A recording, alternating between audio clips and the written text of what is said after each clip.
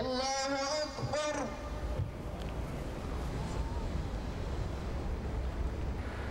الله أكبر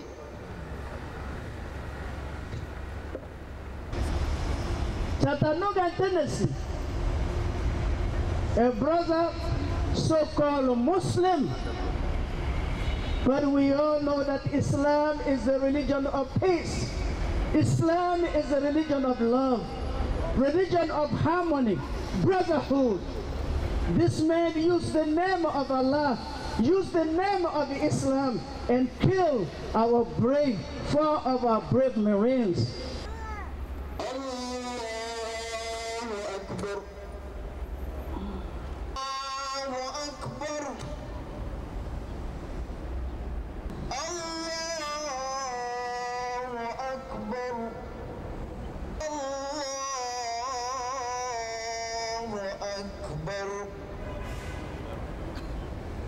So American people need to know the difference between terrorism and uh, good Muslims. We are good Muslims. We will fight for America. We're here for America because America has been good to us. And when we say God bless America, we mean it.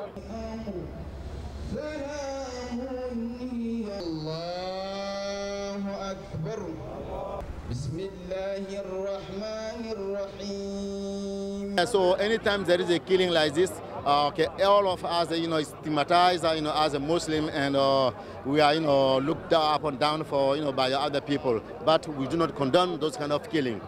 There is no, there should be no killing, absolutely no killing in the name of Islam. Anybody has told you, anybody who's killing in the name of Islam is doing that only for his own agenda. الله أكبر. الله أكبر.